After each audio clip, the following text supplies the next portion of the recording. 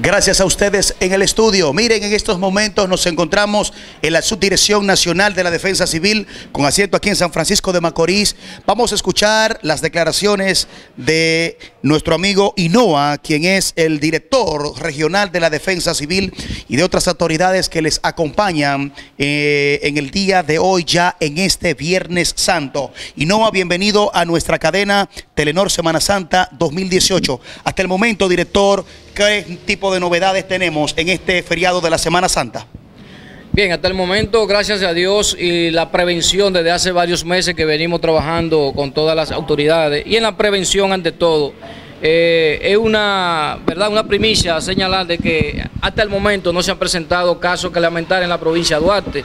Claro está, en otras regiones, en la provincia de Nagua, precisamente en el día de ayer perdieron la vida dos jóvenes, eh, un impacto de ambos vehículos.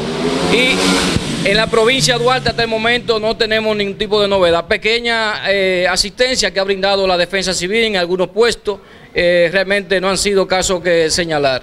¿Cómo ha sido el llamado por parte de las autoridades? Bueno, ¿cómo han acatado el llamado que le han, que le han hecho ustedes?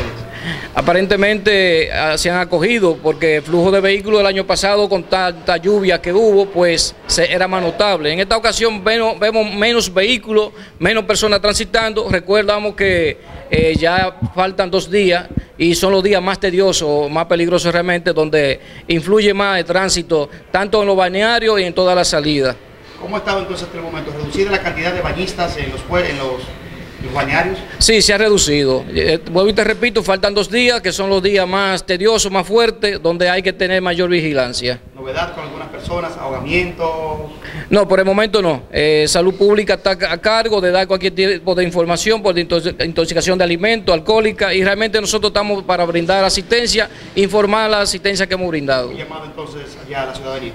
Le, eh, brindamos esta información a la persona que sea, por favor, eh, mantenga el margen de distancia en ambos vehículos, manejar sin el afecto del alcohol. Realmente lo que queremos es que lleguen tranquilos a su casa y vivo y salvo, muy salvo. Realmente la situación se ha presentado diferente al año pasado. Eh, esperamos que acojan realmente el llamado. Bueno, ahí estaban las declaraciones de Inoa. Ahí están las declaraciones de Inoa, director regional de la Defensa Civil, acompañado de miembros también de la Policía Nacional de Salud Pública, la Dirección Provincial bueno, Provincial de Salud Pública, Cruz Roca, Ejército Nacional.